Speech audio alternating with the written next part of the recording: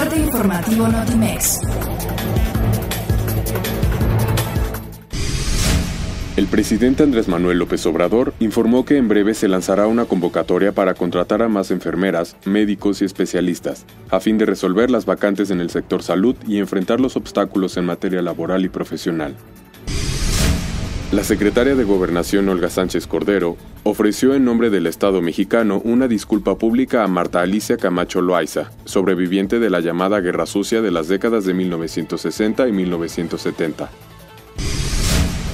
El presidente de China Xi Jinping se reunió con el primer ministro de Irak, Adel Abdul Mahdi, en el Gran Palacio del Pueblo en Beijing, donde conversaron sobre la cooperación bilateral y la crítica situación en Oriente Medio y la región del Golfo Pérsico. Alrededor de 16 niños, entre ellos las ambientalistas Greta Thunberg y Alexandra Villaseñor, presentaron una histórica queja oficial al Comité de los Derechos del Niño de Naciones Unidas para protestar por la falta de acción de los gobiernos frente a la crisis climática.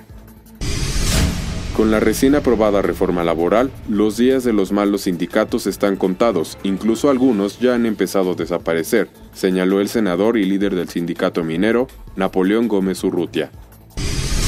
La organización Save the Children exhortó al gobierno mexicano a establecer políticas, programas y presupuestos orientados a frenar la violencia contra la niñez en el país, donde cada día mueren cuatro menores de edad como consecuencia de ese tipo de actos. El presidente estadounidense Donald Trump se hizo presente de manera sorpresiva en la cumbre sobre el clima de la ONU que inició este lunes. Notimex, Comunicación Global.